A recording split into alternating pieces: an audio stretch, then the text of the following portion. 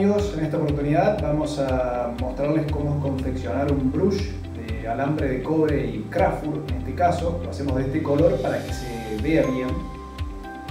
Esta es una, eh, esta es una forma de realizar un brush, un lazo, que podemos hacerlo con el mismo hilo cuando atamos las moscas de dorado, pero en este caso, al hacerlo de alambre de cobre, le damos una mayor durabilidad ya que cuando el dorado muerde las moscas, eh, con el alambre de cobre resiste mucho más y no se corta.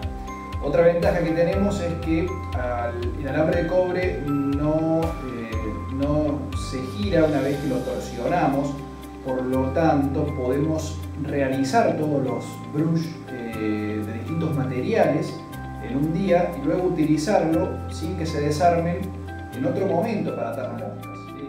alambre de cobre Vamos a utilizar Crafu, puede ser cualquier color. Vamos a usar un poco de brillo.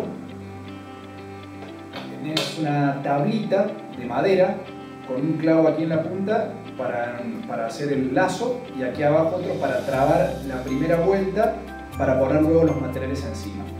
Finalmente vamos a utilizar una herramienta para darle torsión a ese, a ese lazo para que quede bien comprimido y bien firme. Si lo hacemos de manera manual, no llega a torsionarse el alambre de cobre para que quede realmente firme. Vamos a usar un cepillo de alambre para poder ir despeinando todo ese material y muchas veces las fibras largas eh, quedan dentro del lazo, entonces es importante sacarlo. Podemos hacerlo de materiales sintéticos, combinando distintos materiales, podemos hacerlo de materiales naturales como por ejemplo el ciervo, para hacer imitaciones de ratas.